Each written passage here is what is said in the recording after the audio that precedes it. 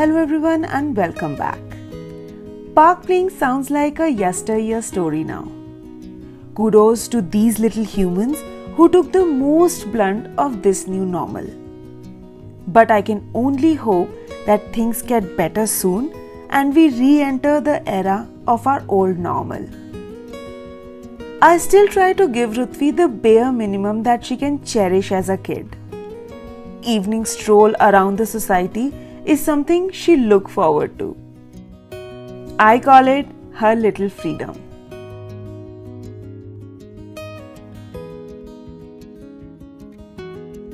It's also a chance for me and Dhairya to see some nature, and both of us enjoy it as much.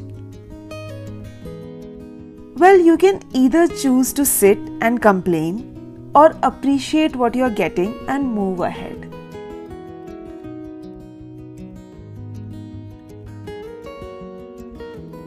Summers have peaked and are very much draining.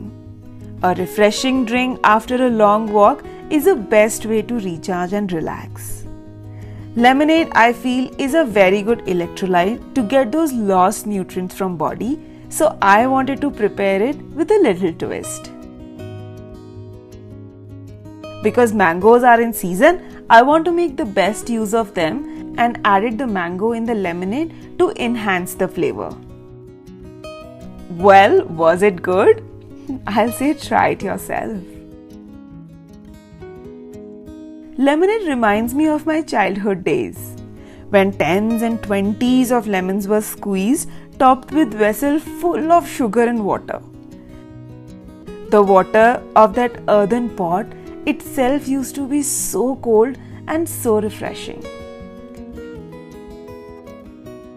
Isn't it great how one can connect memories through just food? So, what is your best memory of a lemonade?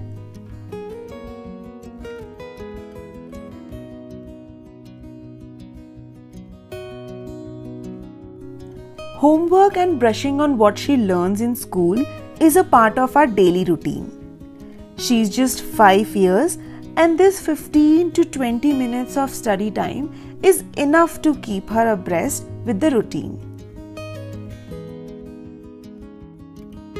Every parenting style is different, and I believe none is wrong. I and Karthik both value quality over quantity. And that's why having a mindful time with both our kids helps us connect better and keeps the fun alive in the house. So today's dinner was quick, easy, and away from everyday normal meal. My easiest version on a green Thai curry. Food is one of the simplest way to break everyday monotony. And if it's easy to whisk, then why not? I have stayed in Malaysia for an year and learned few tricks and traits from Southeastern cuisine. So I just thought of sharing what I have learned in this vlog today. Although there are few ingredients hard to find, but thanks to some easily available substitutes, the taste of this Thai curry paste comes out really well. I always prepare this paste in bulk so that I can store it for the later use. It can very well be stored in freezer for up to a month and taste does not alter a bit.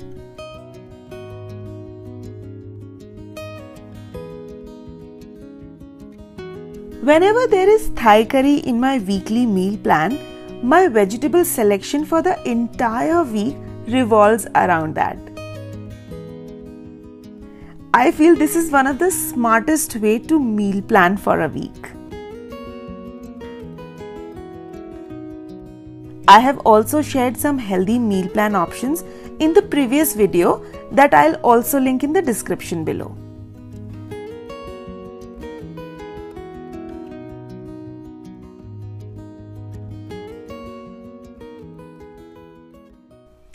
A one bowl meal loaded with different veggies and some exotic flavors are best suited for weekdays. No two days are alike, and same goes with nights. When some nights I care for a company, on other I value some me time. Time when more than my body, my mind can cherish some quality time and when I can relax and reset for the next day.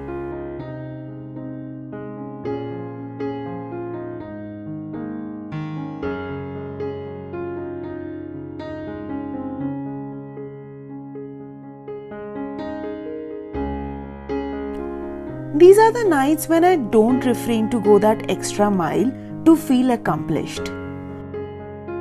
Because I know that these small efforts will untie many knots and give me a better perspective of day to day and tomorrow.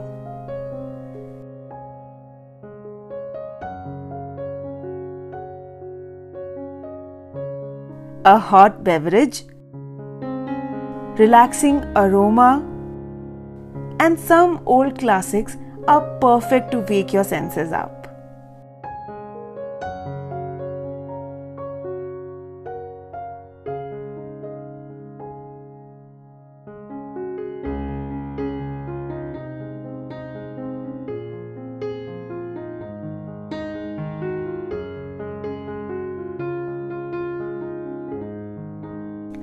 A good music is a therapy, and as it triggers some thoughts, I don't take even a second extra to note them down. If you ask me why, well, because this is the way I empty my vessel of thoughts to make space for some new ones.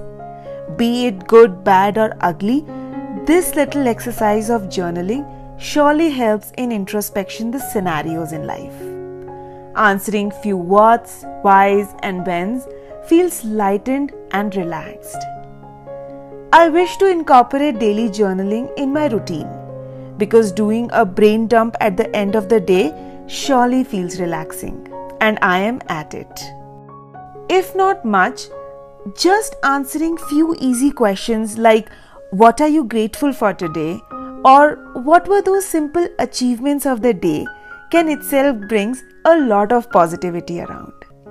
My today's achievement was serving a delicious bowl of food to my family.